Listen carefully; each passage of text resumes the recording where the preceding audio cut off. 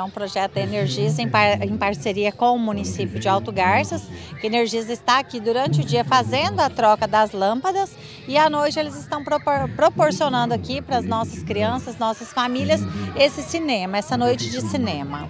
E esse cinema é totalmente gratuito? Isso, um cinema totalmente gratuito, que eles organizaram aqui todo o espaço e está sendo um filme que retrata a antiguidade também, como era a dificuldade, né, de, de antes, como as crianças e a população se comportava. Lembrando que esse projeto não acaba hoje. Não, amanhã ainda, na quinta-feira, nós vamos ficar aqui durante o dia todo com as trocas de lâmpada ainda. Então, para quem não fez a troca, venha fazer aqui na praça. Isso, amanhã ainda durante o dia a Energisa vai estar aqui na praça. Então, com essa troca de lâmpadas que é tão importante também para essa economia de dentro da casa de cada cidadão. E esse projeto traz a conscientização aqui para o nosso município. Então, além dessa noite aí de diversão aqui para a nossa população, a gente vem também com essa, esse senso de economia e de melhoria na qualidade de vida do cidadão autogarcense. Na verdade, ele é bem interessante por conta dele mostrar como que pode ser produzida energia, né?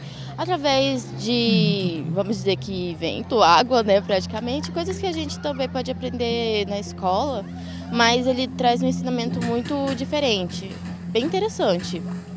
E também traz um aprendizado de formas de gerar energia.